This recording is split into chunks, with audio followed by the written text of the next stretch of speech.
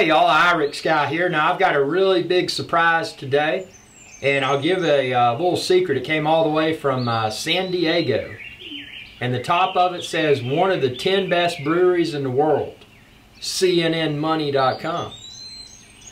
And on the back it says, live for the now, the present. You have in your hands a devastatingly fresh double IPA. Freshness is a key component of many beers, especially big hoppy IPAs. But we've taken it further, a lot further with this one. We brewed this IPA specifically not to last. We've gone to extensive lengths to ensure to get, let's see, it says, we've gone to extensive lengths to ensure you get your hands on this beer within an extraordinarily short window. And we've kind of scratched off sent a very clear message in the name of beer itself that there is no better time than right now to enjoy this IPA. So what is it? It is Stone Enjoy by 12 13 13 IPA. It's one pint. It's 9.4% ABV. 9.4% alcohol by volume. And of course it's made by the, uh, it's brewed by the magnificent Stone Brewing Company. And they are located, I think I said San Diego. Yep, Stone, uh, actually, I'm sorry. It is Stone Brewing Company, Escondido, San Diego County, California. So without further ado, let's uh, pop into this. Uh, as I said, I'm not a certified Cicerone yet. Uh, so my comments may not be as, uh, as well worded as, as others may be. Um, so let's see. Let me just make sure I didn't get any glass residue on that. Mmm. Uh, you know, really good nose on it. It's uh, it's a, it's a type nose you would expect from a very well crafted uh, IPA, which is India Pale Ale. Mmm. Smells wonderful. Let's see what we got here. Uh, the next test is I is I pull out my the July 30th, 2011 Music City Brewers Festival in Nashville Glass. Great beer fest. We're going to look at the coloration here. A perfectly angled pour as you can see. Don't want to uh, abuse this beer in any way.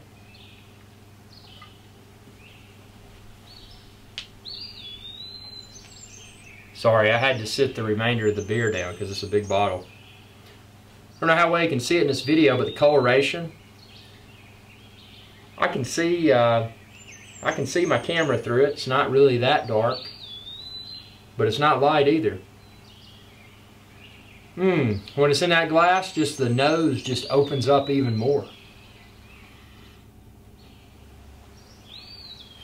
You can get those uh, those floral notes that you get in uh, get in that IPA beer. So let's give it a taste test here.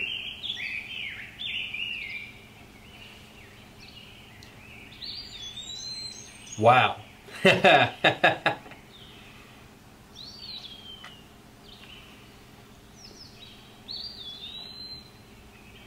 guess the best way to describe this is that if you've had IPAs before, you know, they they vary slightly among different breweries, but this one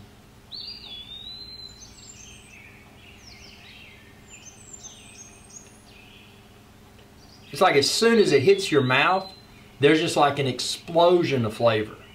And I've never experienced that with an IPA before. I mean, it's just like a literal boom. You know, if it, if it made noise, it would because you can just, you can taste that flavor explosion in your mouth.